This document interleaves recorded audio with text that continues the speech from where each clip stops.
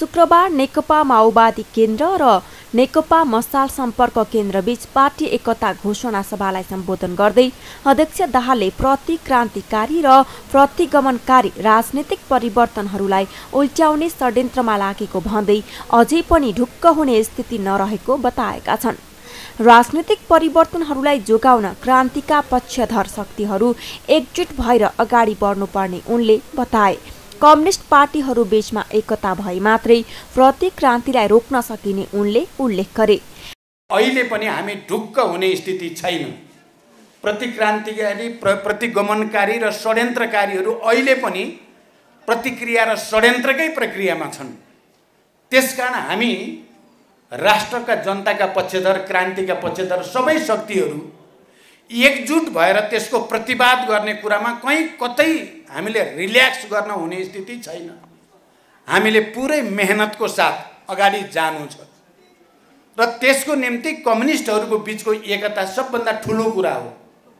इमान्दार कम्युनिस्ट क्रान्तिकारीहरूको बिचको बलियो एकताले नै प्रतिक्रान्ति विरोधी क्रान्तिकारी आन्दोलनको नेतृत्वको भूमिका खेल्न सक्दछ। अध्यक्ष दाहालले अवसरवादीहरू पार्टी प्रवेशको नाममा गाउँमा केही मान्छेहरूको शिला खोज्दै हिँडेको टिप्पणी गरे। उनले आफ्नो पार्टीमा मानिसहरूको प्रवेश हुनुलाई सुनारको सय चोट लोहारको एकै चोट भन्ने उखानको उदाहरण लिँदै लोहारको एक चोटको संज्ञा दिए। मलाई के लाग्छ भने हुन त अवसरवादीहरू अहिले गाउँ गाउँमा केही मान्छेको शिला खोज्दै हिँड्ने गरेका छन्। तपाईँहरूले देख्नुभयो होला पार्टी प्रवेशका नाममा भन्दै गाउँ गाउँतिर शिला खोज्दै म अहिले धेरै त भन्दिनँ यो मिटिङमा तर सुनारको सय चोट लोहारको एकै चोट भने जस्तो आज हामीले लोहारको चोट हाल्यौँ यो हलबाट यो एकीकरण प्रक्रियाबाट कम्युनिस्ट आन्दोलनलाई एकताबद्ध गर्ने कम्युनिस्ट आन्दोलनलाई विघटन र विसर्जन गर्न चाहने अवसरवादी विदेशी प्रतिक्रियावादीको अगाडि आत्मसमर्पण गर्ने तत्त्वहरूलाई एउटा चुनौती यो हलबाट हामी दिन चाहन्छौँ।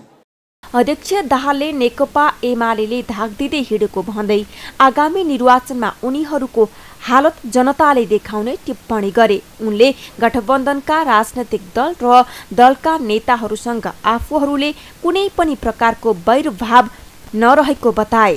माओवादीले गठबन्धनलाई बलियो बनाउन लगातार प्रयास गरिरहेको पनि उनले बताए। मैले पार्लियामेन्टमा या प्रतिनिधि सभामा माओवादी क्रान्तिकारीहरू या कम्युनिस्ट क्रान्तिकारीहरूलाई हल्का रूपले नहेरियोस् भनेको थिएँ। तपाईँहरूले सम्झिनु भएको होला। आगोसँग खेल्ने दुस्साहस नगर्नु उचित हुन्छ भनेको के भयो आगोसँग खेल्दा? बालुवाटारबाट बालकोट भयो छवटै प्रदेशबाट मुख्यमन्त्री चट भयो। अहिले बडो धाक धम्की लगाएर त हिँडेका छन्। उनीहरू त्यो धाक धम्की मात्रै हो। आउने निर्वाचनमा देखिनेछ कसको हालत के भयो र कसको हालत के हुँदैछ।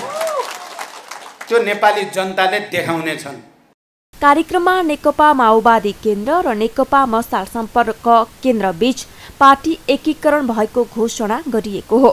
नेकपा मसाल सम्पर्क केन्द्रको तर्फबाट नेतृत्व लोकेन्द्र लम्सालले गरेका छन्।